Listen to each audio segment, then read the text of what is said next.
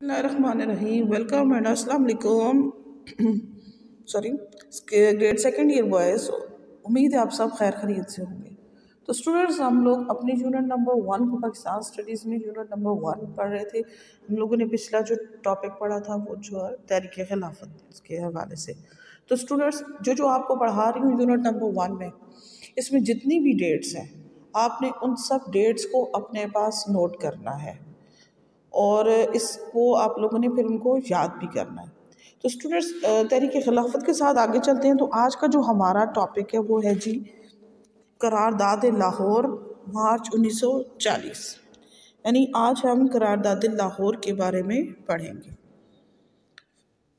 Let's start our topic government of India act 1935 government India act 1935 के तहत Feb और मार्च यानी फरवरी और मार्च 1937 में जो है वो सूबाई असम्बलियों के इंतबात मनद किए गए। इन इंतबात में दोनों बड़ी जो पार्टी थी, कांग्रेस और मुस्लिम लीग, दोनों ने हिस्सा लिया। लेकिन मुसलमानों की जो यहाँ पर कारकर्दगी थी, वो बहुत मायूस कम थी। कांग्रेस ने 11 सूबों में से आठ सूबों में कामयाबी हासिल की और अपनी वजारतें उन्होंने बनाई। लेकिन इसके साथ साथ उन्होंने मुस्लिम लीग को वजारतों में शामिल नहीं किया। अब इकतदार में तो वो आ गए। जब वो इकतदार में आई तो उन्होंने मुसलमानों की मुखालिफ पॉलिसियों पर अमल दरामद शुरू कर दिया और मुसलमानों को इन हिंदू अक्सरती सूबों में जहाँ कांग्रेस की हुकूमती तरह तरह की मुश्किल का सामना करना पड़ा। लाइक उन जो तिरंगा परचम था उसे लहराया गया कि हर जगह पर उसको लहराया जाएगा। उसके साथ ये था कि जो वदिया मंदर स्कीम थी उन्होंने अपनी तालीमी इदारों में वदिया मंदर यानी मंदिरों के बारे में तालीम दी जाती थी पूजा पाठ उनसे करवाई जाती थी। गांधी जो था उसकी तस, जो तस्वीर थी उससे उसके सामने बिठाया जाता था उसके सामने हाथ जोड़ने जोड़ने पड़ते थे फिर वो साथ उनके अपने सॉन्ग्स वगैरह गाते होते थे। हर जनी तालीम के मैदान में भी उन्होंने स्टूडेंट्स जो थे, उन्होंने लाजमी जो है वो इनके जो देव, देवी देवता हैं, उनको उन्होंने पूजना होता था। इसके साथ साथ ये था कि उन्होंने जो है वो जो अपना परचम था, उर्दू के ख़िलाफ़ उन्होंने जो तहरीक चलाई थी, यानी उर्दू बिल्कुल भी नहीं होगी। अब यहाँ पर हिंदी को हम लोग स्कूलों में भी और सरकारी ज़ुबान के तौर पर भी हम लोग जो है, इसको राइज करेंगे। हालाँकि उर्दू जो थी, वो मुसलमानों का, उसमें सारा असासा उसी में मौजूद था।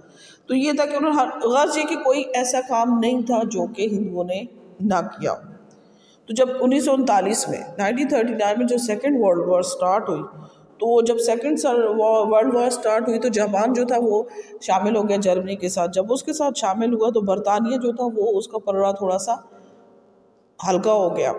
तो इस वक्त को, इस टाइम को देखते हुए कांग्रेस ने कहा, क्यों कहा ना इससे फ़ायदा उठाया जाए? तो उसने क्या किया कि अपने कुछ मुतालबात जो थे, वो कांग्रेस के सामने पे, कांग्रेस ने पेश किए उनके अंग्रेज़ों के सामने। लेकिन उन्होंने क्या किया कि कांग्रेस ने मुस्लिम लीग को इसमें शामिल नहीं किया। उन्होंने कहा कि हम खुद ही सब कुछ कर लेंगे तो हमने इकतदार लेना है तो उनको पूछने की ज़रूरत ही नहीं है। तो फिर जब कांग्रेस जब उन्होंने इनके मुतालबात जो थे, जो उन्होंने दिए, वो मुस्तरद कर दिए तो फिर क्या किया कि कांग्रेसी वजारतों से उन्होंने नाइनटीन थर्टी नाइन में इस्तीफ़ा दे दिया, यानी कांग्रेसी वजारतें ख़त्म होगी जब कांग्रेसी वजारतें ख़त्म हुई नाइनटीन थर्टी नाइन में तो फिर 22 दिसंबर उन्नीस को दिन जो था, कायदे हमने कहा कि आज का दिन हम लोग योम निजात के तौर पर मनाएँगे। तो फिर जो 22 दिसंबर उन्नीस सौ उनतालीस का दिन था, वो योम निजात के तौर पर मनाने की अपील की गई। जो दौर था 1937 का, जिसमें कांग्रेसी वजारतों के दौर में मुसलमानों को बहुत तल्ख तजर्बात का सामना करना पड़ा उनको एहसास हो गया था कि अंग्रेज़ों के जाने के बाद मुतहद हिंदुस्तान में हिंदू अक्सरीत के हाथों उनको इससे ज़्यादा मुश्किल का सामना करना पड़ेगा। इस तजर्बात की रोशनी में मुसलमानों ने मुतहद हिंदुस्तान में अपने हकूक़ की तहफ़ की बजाय एक अलग और मुकम्मल तौर पर आज़ाद मुस्लिम रियासत का मुतालबा शुरू कर दिया। अब ये था कि जो पाकिस्तान का मुतालबा था, वो पूरी मुस्लिम कौम ने बड़ी गौर व फ़िक्र से किया। ऐसा नहीं कि मुतालबा वक्ती उस पर उसे या जज्बे तय कर दिया गया हो, बल्कि मुस्लिम अकाबरीन जो 1857 की जंग आज़ादी की नाकामी के बाद मुसलसल इस फ़िक्र में थे कि मुसलमानों को पुरसकून, महफूज और बावकार माहौल कैसे फराम किया जाए, मुसलमान एक कौम तो थे ही। तो उनको तहफ़ देने की भी बात होती रही, लेकिन मुस्तबिल के लिए मुतमिन नहीं थे। तो बहुत सी ऐसी शख्सियात हैं जिन्होंने कहा था कि हमें अलहदा वतन चाहिए। जैसे आप कहते हैं बसरीर के मसले का जो हल है, वो अलहदा मुस्लिम ममलकत के क़्याम में ही मुमकिन है। अब इसके लिए था कि कायनामा इकबाल ने 1930 में मुस्लिम लीग के सालाना इजलास की सदारत करते हुए खुतब अलाहाबाद दिया। तो उन्होंने कहा कि शुमाल मगरब में जो दगाना मुस्लिम ममलकत के क़्याम को मुसलमानों का मुस्तबिल ठहराया। चौधरी रहमत अली ने बैसीत तालब इलम उन्नीस सौ तैंतीस में मुसलमानों के लिए एक से ज़्यादा आज़ाद ममलकतों के क़्याम की तजवीज़, एक पम्फलेट अब नहीं तो फिर कभी नहीं, यानी नाव और नेवर में पेश की। सिंध मुस्लिम लीग ने 1938 में अपनी सालाना अजलास में तकसीम के हक़ में करारदाद मंजूर की। कायद अजम ने सैयद हसन रियाज मुसनफ़ जो पाकिस्तान नागज़ीर था के उनको एक इंटरव्यू देते हुए बताया कि वो 1930 में ही अलहदा मुस्लिम ममलकत के क़्याम की जदोजहद का फ़ैसला कर चुके थे। 1940 तक कायद अजम ने कौम को जहनी तौर पर रफ्ता रफ्ता तैयार किया। अच्छा जी, मुसलमानों की तरफ़ से हिंदुस्तान की तकसीम और एक अलग मुस्लिम रियासत के क्याम का मुतालबा वक्ता फ़वक्ता किया जाता रहा। लेकिन बाकायदा तौर पर यह मुतालबा पहली दफ़ा मार्च 1940 में लाहौर में मनदा मुस्लिम लीग के सालाना इजलास में एक करारदाद की शक्ल में किया गया, जिसे करारदाद लाहौर का नाम दिया गया। मुस्लिम लीग का ये जो सालाना इजलास था 22 मार्च 1940 को लाहौर में शुरू हुआ। पहले दिन कायद अजम ने मिंटो पार्क में एक बड़े इज्तम से ख़िताब करते हुए कहा कि हिंदुस्तान का जो मसला है, फ़िरका वाराना नोयत का नहीं है, बल्कि बैन अवी नोयत का है। जब तक इस हकीकत को तस्लीम नहीं किया जाता, तब तक यहाँ पर कोई भी आइनी ढांचा काबिल कबूल या काबिल अमल नहीं होगा। उसके साथ कायद अजम ने वज़ीर मज़ीद वजात करते हुए फरमाया, मुसलमान लफ्ज़ कौम की हर तशरी पर उतरते हैं और उनका हक है कि इनका अपना वतन, अपना इलाका और अपनी रियासत होनी चाहिए. दूसरे दिन 23 मार्च 1940 को बंगाल के वज़ीर अला मौलवी फजल हक ने मशहूर करारदाद पेश की, जिसे करारदाद लाहौर का नाम दिया गया। अब करारदाद लाहौर जो पेश की, उसका मतन क्या था? मुस्लिम लीग के इस इजलास की ये सोची समझी राय है कि इस मुल्क में वही दस्तूर काबिल अमल हो सकता है और सिर्फ़ उसी दस्तूर को मुसलमान कबूल करेंगे जिसकी बुनियाद मुदजा झेल असूलों पर रखी गई है।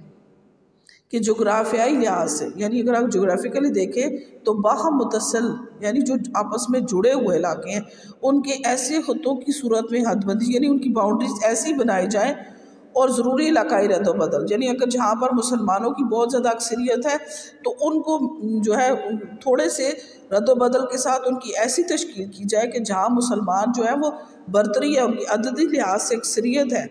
जैसा कि हिंदुस्तान के शुमाल मगरबी और शुमाल मशरकी हिस्सों में इनको यकजा किया जाए, ताकि क्या हो वहाँ पर आज़ाद रियासतें बन सकें और इन रियासतों में शामिल जो सूबे हैं, वो ख़ुद मुख्तार भी हों और मुख्तर आला भी हों। यानी ये लाजमी होना चाहिए कि अगर इन शॉर्ट हम इसको करते हैं तो बाहम कहते हैं कि मुतसिल इकाइयों की जो आपस में जुड़े हुए हैं, उनकी खितों की सूरत में हदबंदी की जाए। शुमाल मगरब और मशरक़ में मुस्लिम अक्सरियत वाले इलाकों में आज़ाद ममलकतें कायम की जाएँ। बरसगीर के के लिए तकसीम के अलावा किसी दूसरी स्कीम को मंजूर ना किया जाए।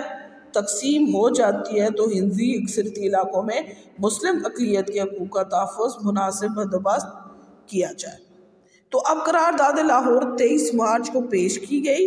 और 24 मार्च को इसकी मंजूरी हुई। दोबारा मैं बता रही हूँ कि जो करारदाद लाहौर थी 23 मार्च को पेश की गई है और 24 मार्च को मंजूर की गई। और इस करारदाद को जो था, हिंदुओं ने करारदाद पाकिस्तान के। हालाँकि करारदाद को अगर देखा जाए, इस पूरे तो इस पूरे जो उसका मतन था, उसमें कहीं पाकिस्तान का नाम नहीं था, लेकिन इन्होंने करारदाद पाकिस्तान के नाम से शाया किया गया और इसका फ़ायदा ये हुआ। कि एक आम हिंदुस्तानी मुसलमान को इस करारदाद का मकसद समझाने में ज़्यादा दिक्कत नहीं पेश आई। और अगर हिंदू प्रेस इसको करारदाद पाकिस्तान का नाम ना देती तो मुसलमान रहनुमाओं को, मुसलमानों को इसका मकसद और अहमियत समझाने में काफ़ी मेहनत दरकार होती। अब यहाँ पे कहते हैं करारदाद का देखिए रद्द अमल क्या था। अब करारदाद का मंजूर होना था कि प्रेस, हिंदू प्रेस और हिंदू कायदीन मुतालबे के ख़िलाफ़ इजहार राय करना शुरू कर दिया। करारदाद का मज़ाक उड़ाया गया। गांधी और हिंदुओं ने बिलखसूस करारदाद की मुखालफत करते हुए इसे कत्तन मुस्तरद कर दिया।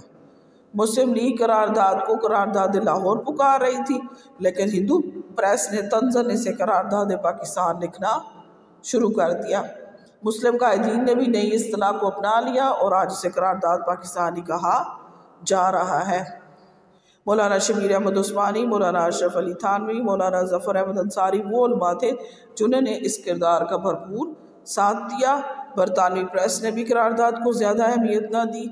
आम तस्वर था कि तकसीम की तजवीज़ मुस्तरद हो जाएगी, लेकिन मुसलमान बरसगीर ने अपने मुस्तबिल का फ़ैसला कर लिया था। चंद ही सालों बाद उन्होंने अपने बेपना जदोजहद के नतीजे में आखिरकार चौदह अगस्त उन्नीस सौ सैंतालीस को पाकिस्तान बना लिया। तो स्टूडेंट्स ये था आज का हमारा टॉपिक लाहौर रेजोल्यूशन यानी आज हमने करारदाद पाकिस्तान के बारे में पढ़ा। उम्मीद है आपको इसकी समझ आ गई। तो स्टूडेंट्स इसमें से आप लोगों ने एम भी बनाने हैं और उन्हें अपने पास नोट भी करना है। अपना ख्याल रखिएगा। ओके अल्लाह हाफिज़।